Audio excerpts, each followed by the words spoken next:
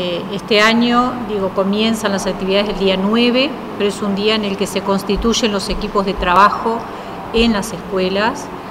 y en ese momento también, digo, durante toda la mañana los maestros van a hacer la inscripción definitiva del, grupo de niños que va a trabajar en las escuelas. Está previsto que este, los grupos este, sean de 50, 75 o 100 niños, este, ya fueron preinscriptos en el periodo de diciembre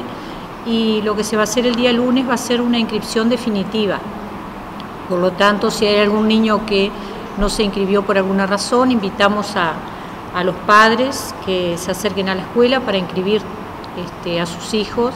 Va a ser un mes de trabajo, cinco semanas concretamente, y las actividades van a comenzar el día martes 10. El día lunes eh, los equipos de trabajo van a este, planificar esas semanas de trabajo este, ya eh, existen proyectos, se presentaron 12 proyectos, uno para cada una de las escuelas participantes del proyecto. ¿Cuántas escuelas participan? Eh, este año participan 12 escuelas, con la particularidad que hay este, 8 escuelas del centro de acá de la ciudad y eh, las otras escuelas pertenecen una a este, el pueblo Belén, la escuela número 6, la escuela número 100 de Constitución, la escuela 45 que es una escuela rural, y la escuela número 23, o sea que son cuatro escuelas de, este, más alejadas del centro.